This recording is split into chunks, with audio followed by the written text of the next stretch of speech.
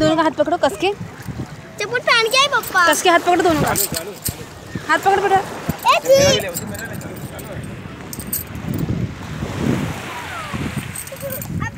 भीग रहा पैंट ऊपर करो।